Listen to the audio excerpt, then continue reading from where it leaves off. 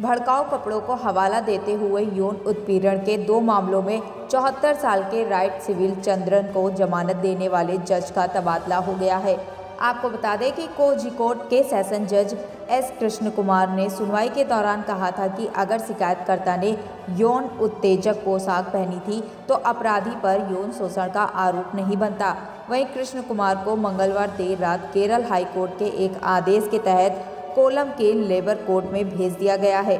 अब कोजी कोर्ट में सेशन जज एस कृष्ण कुमार की जगह एस मुरली कृष्ण लेंगे। Bureau report IPN